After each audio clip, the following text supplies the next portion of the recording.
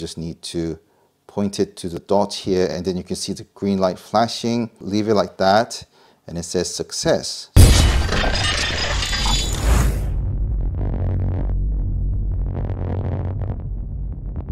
Since the release of Amazon Alexa or Google Assistant or Google Home, I personally haven't seen any really interesting smart home devices that has been released afterwards. And I really want to dedicate my YouTube channel, tech channel, to be focused mainly on the smart home devices.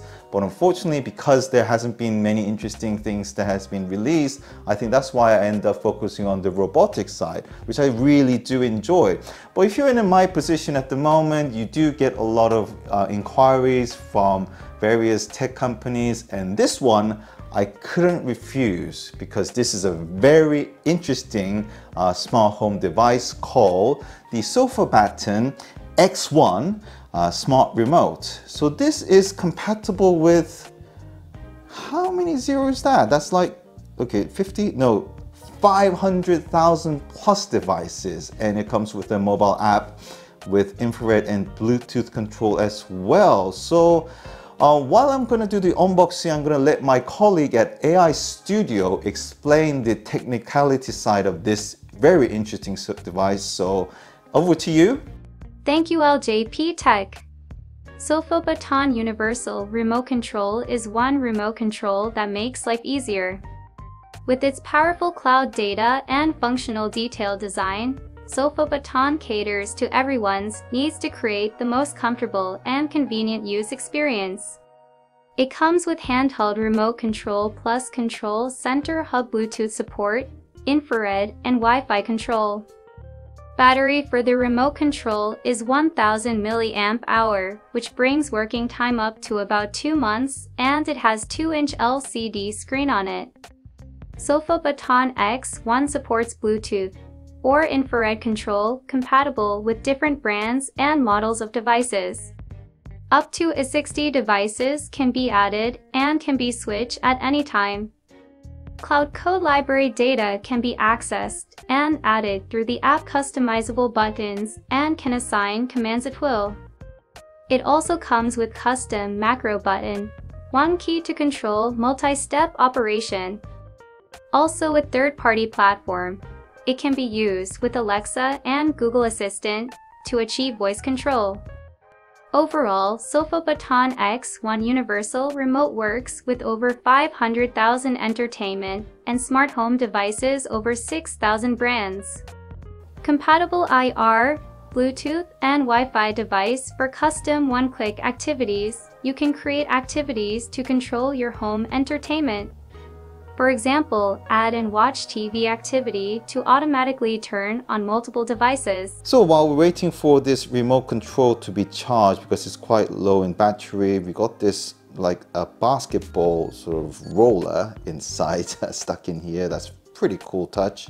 You can, if you press it, you can select and I believe this is also a touch sensor scrolling and we got the home, back, option, volume up, down, silence, mute, uh, channel up, down, and also um, pause, forward, backwards, and teletext as well. So we got the off and also another back button as well.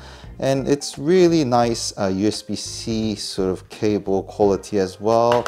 These are the infrared uh, blasters. So I think these are the uh, sticky patch that you could actually stick it onto a surface if you need to. And this is the actual hub here.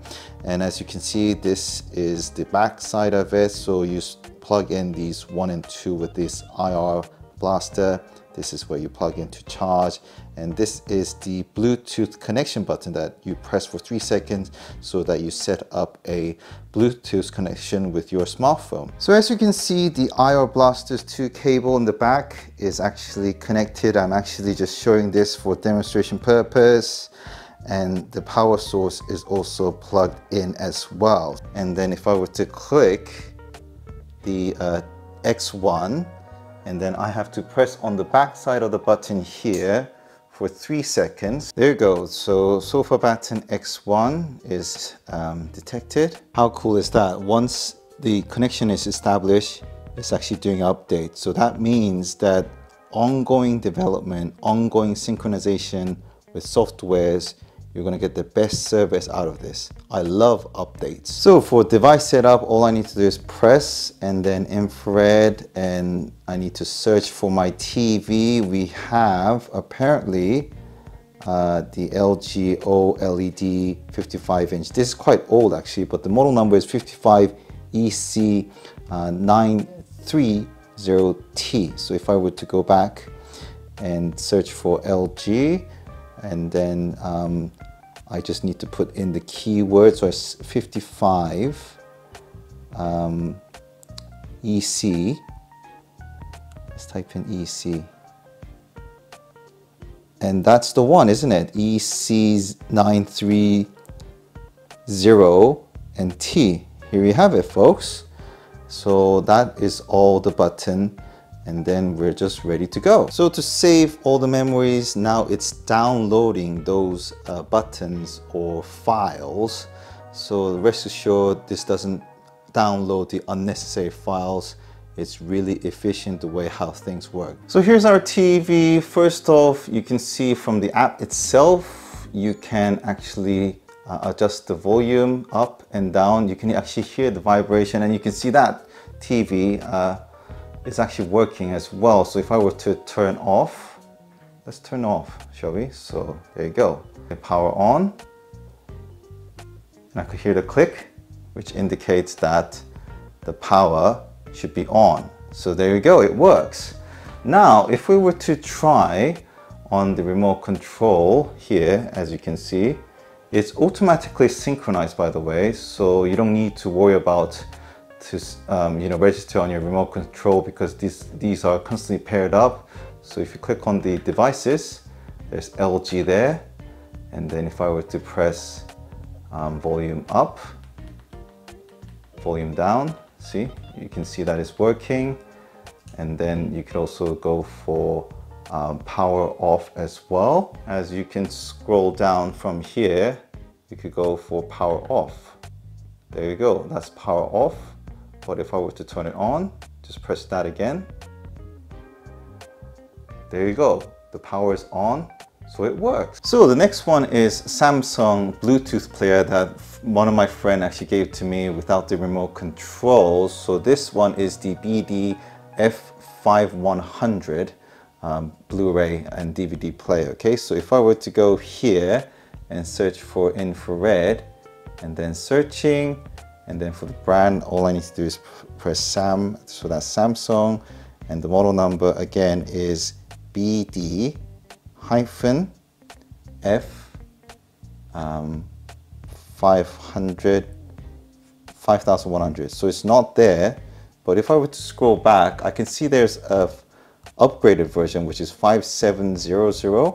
I'm pretty sure this is gonna work anyway. So let's actually set it up and then uh, let's complete. So as you can see from devices, now the Samsung has been registered as a TV and the DVD player. So if I were to press the power button on it, you can see that the power is going off. So this is definitely working. So we're now in the Samsung mode and um, if I were to press right, it works and the left as well. Um, for the, there's actually this scrolling button here and if I were to press the middle one as a selection, yeah, there you go. So it works perfectly fine. So you don't necessarily need to choose the exact uh, model number, but a similar one and it will work. So I'm really pleased. Finally, I have a remote control for the Samsung DVD player. So you know that when you want to change the input, um, so let's say if I go to my um, LG remote control mode. Um, the good thing about this is that you don't need to press and manually select it. You got a very quick um, shortcut. So if I were to press this one, we got the HDMI input 1 and input 2 and input 3 and input 4.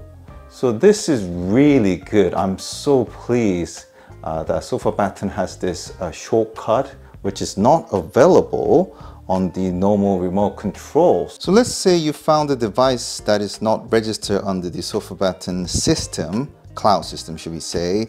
Um, and quite rightly because this is quite a unique device actually. So all you need to do is infrared and then press on learning and then press on the box because this is actually the box. And to learn the power, you just need to press to learn. And then while the screen is popping up, you just need to point it to the logo or sorry, the dot here. And then you can see the green light flashing and it says it's learning. So leave it like that and it says success. So the power button is registered. Let's actually also uh, learn the navigation up. So if I were to press that again, you can see the green light flashing. Leave it until it's learning. And then that's also success as well.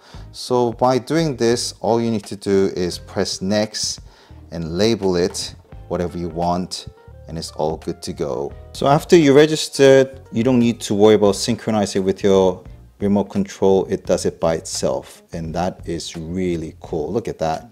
33%, 66%, all synchronized. So we've gone through the infrared. Now for the Bluetooth device, if you click on it, Apple TV, uh, Android TV, those are the thing. Even like PlayStation 4 and 5 and Sony devices, well, that's pretty cool, isn't it? and on the Wi-Fi apparently it works for like Roku Philips, Hue and Sonos supported as well. Now the heartbreaking news is that I really wanted to have the remote control function on this Ruark speaker. Now I have actually been told several times and I actually tried on the Flipper Zero on a special way as well but there seems to be no way whatsoever to uh, use an alternative remote control for this Ruark audio. This is a really good sound quality by the way, but as you can see, even though I press it here, it just does not recognize it whatsoever for the power. Now, if you go to Google Home and press add and then works with Google, and if you were to search for sofa, ah, there you go. So SofaBaton here, then you can actually synchronize all the connection with Google uh, Home or Google Assistant. And this is fantastic news. So in other words, to explain to you physically what this means is, you know the famous Logitech Harmony Hub? You know the way how you can voice command and use this as a conduit to control your TVs and so on as a remote control universal? And combine these together, as a result, what you get is a single unit of SofaBaton remote control. That's brilliant. So not only you get an upgraded version of Logitech Harmony Hub, but also you no longer need all these remote control. You just need to combine it or chuck it to use a singular remote control uh, from SofaBaton. Now it makes a lot of sense actually because this is USB-C charged. So you just need to charge it on and off and the battery life is pretty good.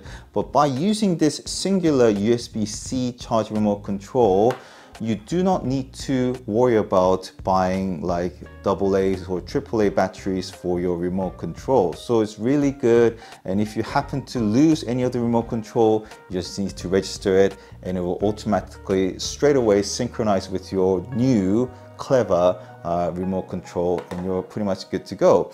Now, I think some people might argue that it could be quite expensive. I think in UK or in US is about 180 or 190 US dollars or British pounds. But if you think about it, Logitech Harmony Hub itself didn't come with the remote control and it cost about 120 at the time I remember and it was very difficult to get while as this an upgraded, quicker reaction, combined remote control, I think is a fantastic value and you're not going to regret it at all. It's definitely an upgrade for your smart home use. So well done for SofaBaton for coming up with this really clever device and also the hub by the way. So I hope this video clarified what this device is about, but if you have any queries, please do comment below and thank you very much for watching this video. This is LJP Tech.